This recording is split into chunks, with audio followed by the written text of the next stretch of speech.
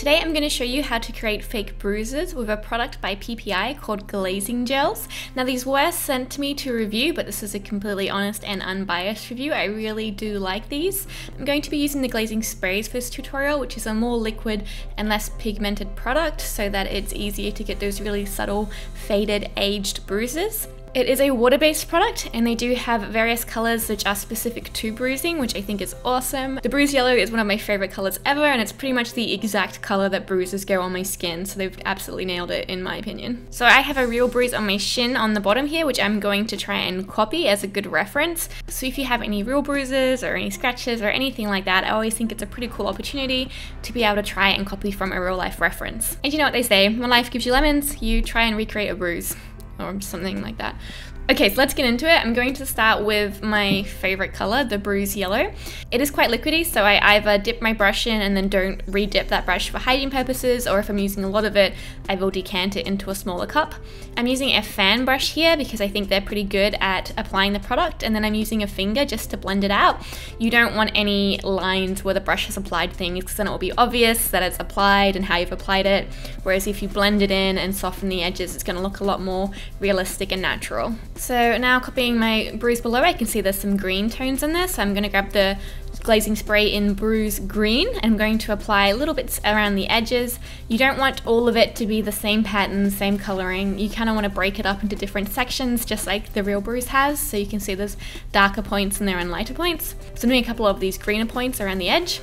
Now I'm going in with Bruise Blue, which is the darkest and most pigmented of these colors. So you want to be very soft hand when applying it. Just put little bits around the edges. You don't want to go overboard and make sure you blend it out really quickly with your finger. A little bit of water can also help to blend this out. And I'm just using a pointed brush to apply little bits around the edges. Now I'm going in with Bruise Red, which is kind of between red and purple. So again, I'm just doing little sections of it around the edges, around the outside, kind of sporadic, but also kind of copying the reference image below, which you can see a couple of points of darker purpley red colors in there. And again, I'm applying it with a brush and then patting it out with my finger so that you get the softer blended edges. Um, now I've kind of looked and I'm like, yeah, you know what, I want to put a little bit more purple down. So I'm using that pointed, putting in little dots with the pointed tip of the brush of the bruise red color, just to simulate those burst capillaries that happen in a bruise. So I think it is good to leave some points darker and some points more blended out, but just make sure there's no very obvious signs of where you've applied what.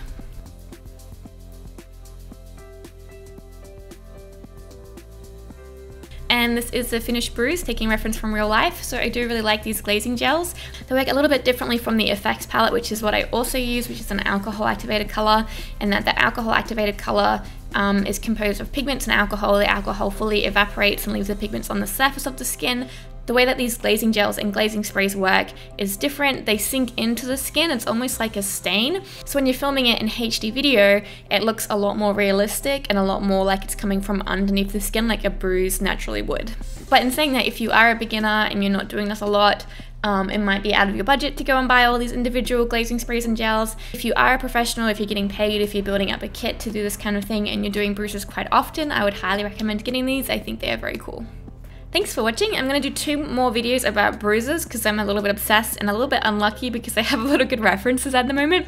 So I also have a much darker bruise on my hip which I've recreated with both the alcohol paints and the glazing gels and sprays. So you can see more of an intense build up here. And I'm also doing a video where I compare different products for creating bruises. Um, such as the effects palettes, the glazing gels and sprays, water-based palettes and cream-based palettes as well, which you can click on here.